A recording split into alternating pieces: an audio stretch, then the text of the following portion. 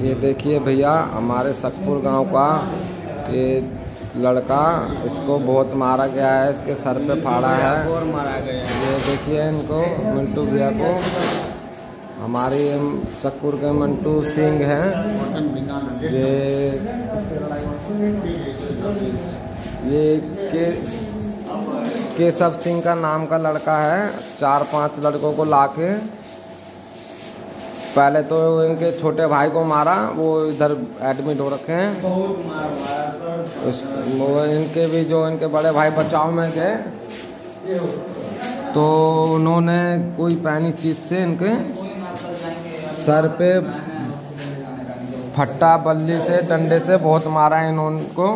आप देखिए, और वो पता नहीं कहाँ भाग चुके हैं, अभी तक मिले नहीं हैं वो सर। ये उनका छोटा भाई है। मारा जो दर्द दर्द कर रहा है।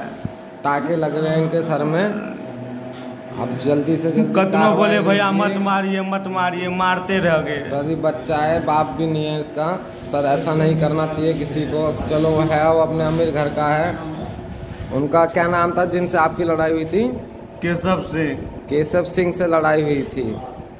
अच्छा जी। और किस रीजन में हुआ था आपकी लड़ाई उनसे? क्या?